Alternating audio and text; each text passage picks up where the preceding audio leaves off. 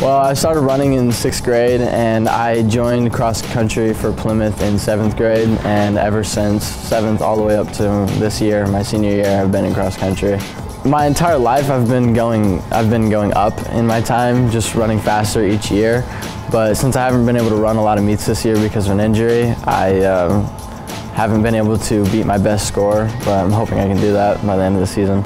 My best time is 17-17. Uh, my freshman year, my first race was probably around 24 minutes.